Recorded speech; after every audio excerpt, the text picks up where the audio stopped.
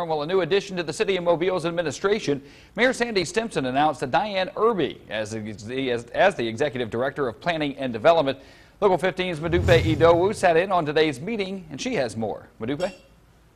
Well, Pat, Dianne Irby is currently the Managing Director of Southeast Infrastructure Operations at Kellogg Brown and Root. She's been there for 30 years and will now serve as the Executive Director of Planning and Development. Irby has three decades of experience with business acquisition and operations.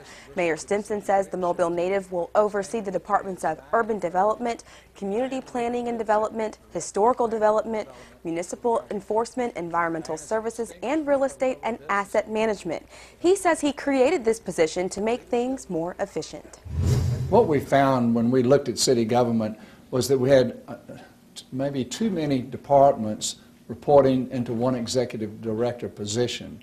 And so in order to be more efficient and effective, we divided what was the public services into two different departments. There's really no better opportunity to help the city that I love uh, move from good to great. Irby starts January 31st. Mayor Stimpson says the first issue she'll tackle is the stormwater management and ADEM. For now, live in the newsroom, I'm Madupe Idowu, Local 15 News.